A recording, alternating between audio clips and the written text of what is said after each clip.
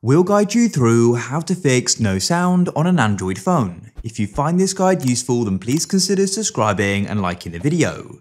This is super annoying so we've got multiple different methods you can try. First of all go and open up your settings. What you need to do is go to the top and click on connections. In connections go and click on Bluetooth.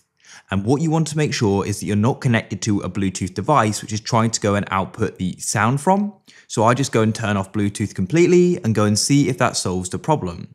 If it doesn't, don't worry. The next thing you want to do is go and click in sounds and vibration.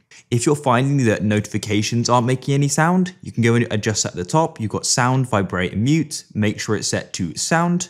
And you can also go into volume and you can adjust the different volumes here. If one is turned all the way down, then go and adjust it. You can also switch on use volume button to media as well, so you can go and adjust it super easily. If that still isn't working, then it's worth restarting your device. To do that, hold down the power button. On some devices, you may need to hold the volume down button, press restart, and you can press restart again. After your phone is restarted, see if the problem is solved.